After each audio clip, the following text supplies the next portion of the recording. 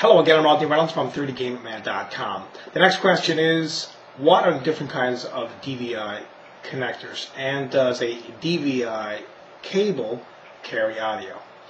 Well, there are a number of different kinds of DVI connectors, and there's also a single link and dual link. There are up to 24 pins on a DVI connector, and there can also be four analog pins as well as an analog ground on a DVI connector. There are three main kinds, a DVI-D, which is digital, a DVI-A, which is analog, and a DVI-I, which is both digital and analog. And a DVI connector does not carry audio.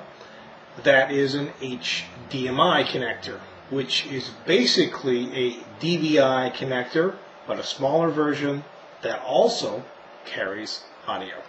Hope this answers your question, and keep your questions coming.